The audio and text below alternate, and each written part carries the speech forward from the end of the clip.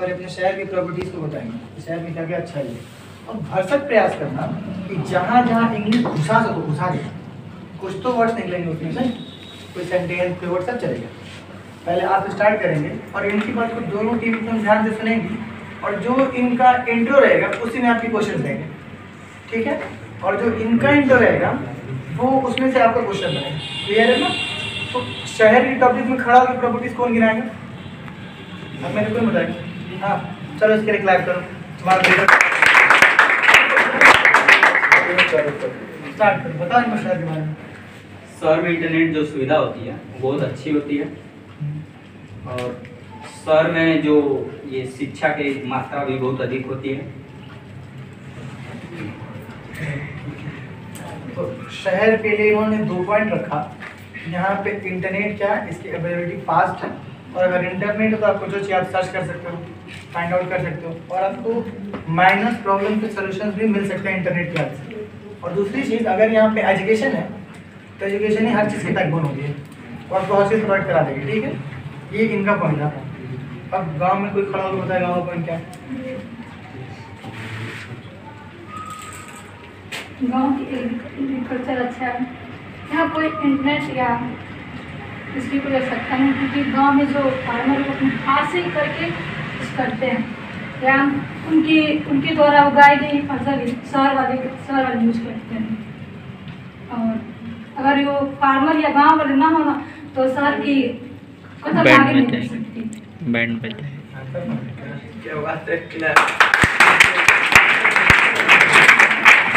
तो टेक्निकली ये पॉइंट क्या था कि इन्होंने शहर के एग्जिस्टेंस पे ही सवाल उठाया कि अगर शहर ना रहे गाँव गाँव ना रहे तो शहर गाँव ना रहे तो शहर का अस्तित्व ही नहीं।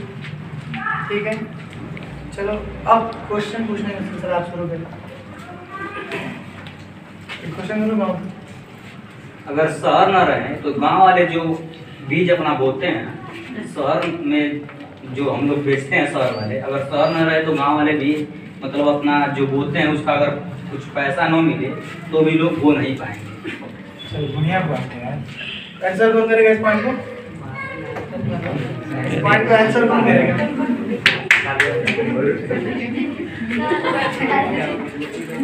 अगर हम लोग बीज की ज़रूरत ज़्यादा है क्योंकि हम लोग बीज खुद जमा सकते हैं पैसा कितना लगेगा? जितना फ़सल आप लोग खरीदते हैं उससे कम ही तो बीज में लगता है ना पैसा। उससे ज़्यादा थोड़ी लगेगा।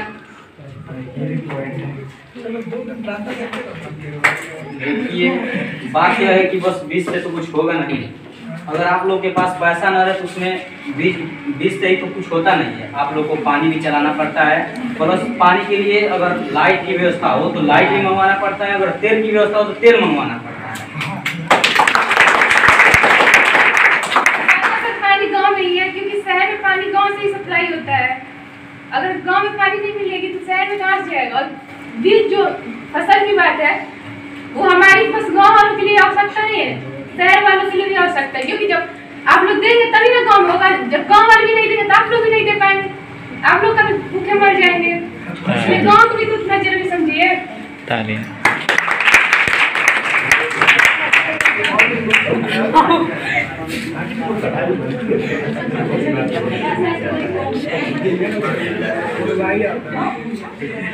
लेकिन गाँव वाले भी क्यों शहर लोग जैसे बनना चाहते हैं? क्योंकि गाँव वाले चाहते हैं कि हम तरक्की करें बट इतना नहीं चाहते कि गाँव में बेहतर है।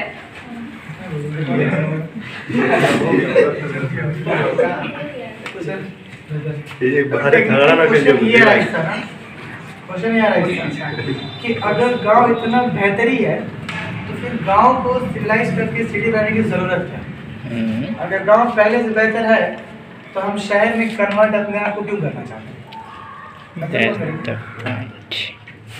वो तो गाँव वाले की वजह एक दूसरे एक दूसरे से जोड़ लगा हुआ है कि हम शहर में रहेंगे। वो तो गाँव में भी रह सकते हैं अपने विकास को डेवलप कर सकते हैं। क्यों विकास वो करते तो हैं? वो उनकी सोच है गाँव में भी रहकर वो लोग अपनी चलो ठीक है। गाँव वालों में क्या है कि बस उनकी सोच है।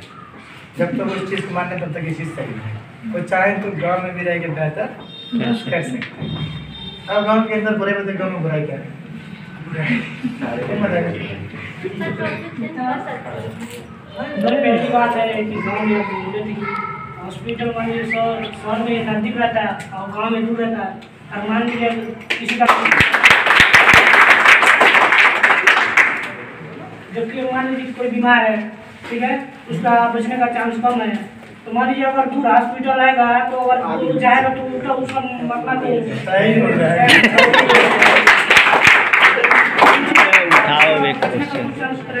सही बात चलो अभी इस पॉइंट आप लोग कैसे करते रहो हॉस्पिटल की व्यवस्था तो सरकारी प्रॉब्लम है हम गाँव की प्रॉब्लम है ज़्यादा है नहीं। Yeah. और यहाँ औषधि इतनी ज़्यादा है प्राकृतिक दवा इतनी है कि हॉस्पिटल की इतनी ज़रूरत पड़ नहीं सकती है। और यहाँ के लोग ज़्यादा बीमार पड़ते हैं क्योंकि यहाँ की पॉल्यूशन कम रहता है।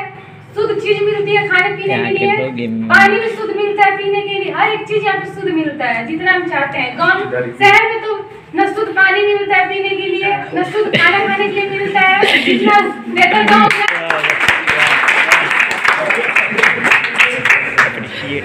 यहाँ के गाँव में ये है कि गंदगी का बहुत ज़्यादा है। क्योंकि सरकार में शहर में देखते हैं कि बाथरूम घर घर में रहता है लेकिन बाहर गाँव में ये होता है कि बाथरूम है। कोई बाथरूम को घर में रखा नहीं है गंदगी बाहर फैला है सही बात है। पोल्यूशन बोलना तो पोल्यूशन है तो गाँव ये गाँव से ही जाके शहर में है है। तो गाँव वाले जब अच्छे रहेंगे तो गाँव करेगा इस पॉइंट को? बार रिपीट कर सकते देखो।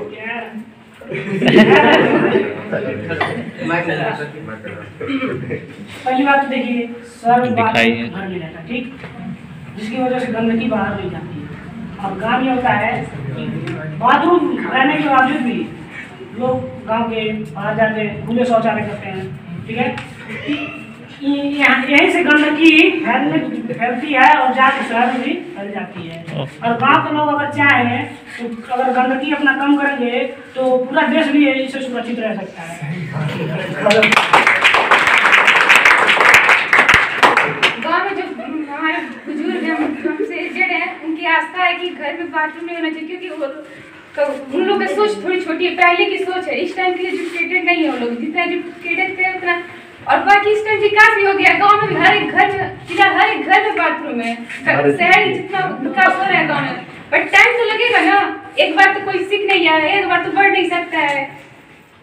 और यहाँ के लोग आस्था में एक point मेरा भी है गाँव की तरफ़ मंदिर भी हो सकता है बाथरूम में दोनों नहीं हो सकता। क्योंकि पहले लोग पहले के लोग इतना मानते नहीं थे।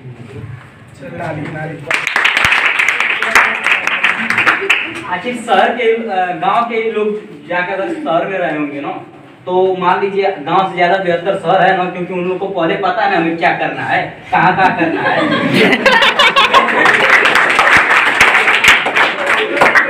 गाँव से बेहतर शहर है क्योंकि गाँव में हम हर चीज़ हम कर सकते हैं जब हम लोग गाँव में हर चीज़ सीख के जाते तभी ना शहर में याद करते हैं जब गाँव से सीख के जाएँगे तो कैसे शहर में कर सीखेंगे तो कर रहे हो ना अब तुम शहर हो, कर सकते हो तुम तुम क्वेश्चन कर सकते हो। सर इतना पॉलिटिक्स क्यों है? गाँव से बिकॉज़ सिंपल क्वेश्चन है। कि why city is so polluted rather than as compare to village it's भैया हमको भी जाना था बराबर गिर गया। बताओ नहीं ये मतलब कि नहीं है। नहीं है।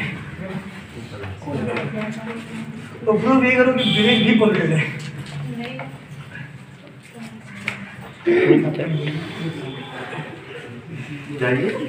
मैं कहना चाहता हूँ शहर उतना मतलब जो आप लोग बोले पॉल्यूटेड है। पॉल्यूटेड नहीं है। गाँव अभी पॉल्यूटेड है। बिकॉज़ गाँव के भी लोग इस समय ज़्यादातर इंटरनेट यूज़ कर रहे हैं। अबे तू तो बोल और इंटरनेट गाँव शहर के लोग जो होते हैं वो जो कूड़ा उड़ा होते हैं वो लोग अपने मतलब ज़मीन के अंदर रख देते हैं। और जो। गाँव वाले होते हैं वो लोग जो भी कूड़ा उड़ा होता है जला देते हैं जिससे वहाँ के जो वातावरण होती है वो फैल कर वो जो पॉल्यूशन बना लेती हैं। इससे इस समय ज़्यादातर शहर में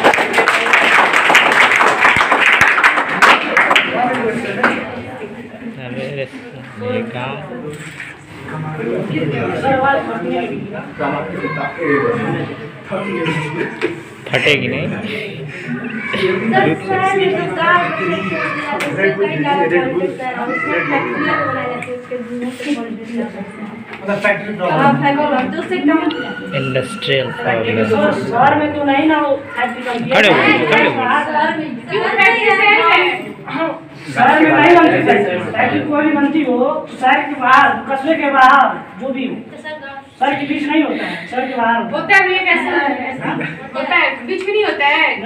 कैसे नहीं होता है? है। है।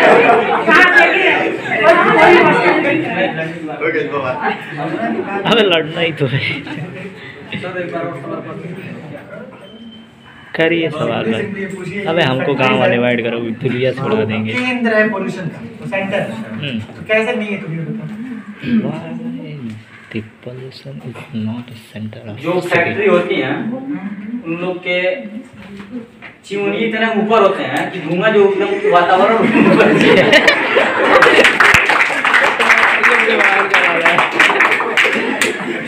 एटमॉस्फेयर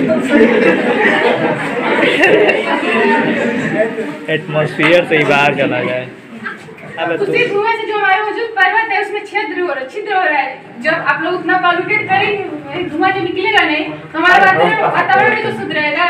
क्योंकि धुआँ एक जगह तो इकट्ठा होगा।